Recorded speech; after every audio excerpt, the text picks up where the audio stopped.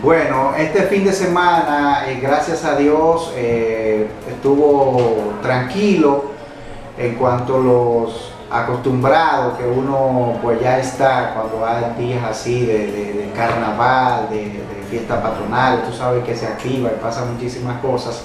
Pero gracias a Dios todo ha, mermado este año, no ha pasado nada eh, que lamentar. Un joven llegó accidentado en un motor, tuvo que transferirse eh, a Santiago y una persona falleció, pero eso fue ya de internamiento por complicaciones de diabetes y otras complicaciones que tenía.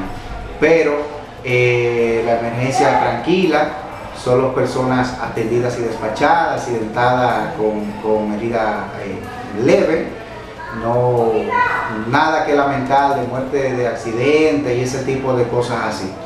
Eh, siempre les informamos a la población de que estamos sumamente equipados en emergencia, preparados, con un equipo sumamente preparado ante estos eventos que se presentan, eh, más como decía, eh, cuando estamos en fiesta de carnaval y de patronal. Gracias a Dios que la gente pues ha tomado conciencia y la cosa está tranquila, está más tranquila. Fue alguien que estuvo interno aquí, hace ya estaba interno, con muchas complicaciones, entre ellas diabetes, y falleció.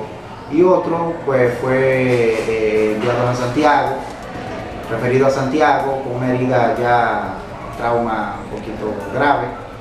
Y los demás fueron atendidos y despachados. Excelente, las dos ambulancias están sumamente bien.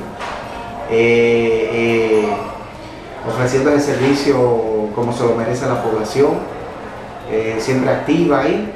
Que a propósito que tú mencionas ambulancia, quiero pues decirle a la población, informarle, hacer énfasis de que vengan a buscar, eh, a, solicitar su seguro de cenaza. Es muy bueno tener este seguro, este seguro muy bueno. Siempre les decimos a los pacientes que es el único seguro que cubre 100% las enfermedades catastróficas. De igual manera, muchas veces hay jovencitos, personas eh, eh, aquí internas con rotura de pierna, de brazo, entre otras roturas. Y ese seguro, cuando le indican hierro, clavo, ese tipo de cosas, si le cubre 100%, que no tienen que salir a hacer lío, a gastar, a buscar para poder comprar esos clavos, que son, salen a propósito muy costosos. Y en vista de eso, les invitamos a que vengan a solicitar su seguro a la oficina de Senasa que está frente a, claro, dentro del hospital, pero ya entrando en el frente.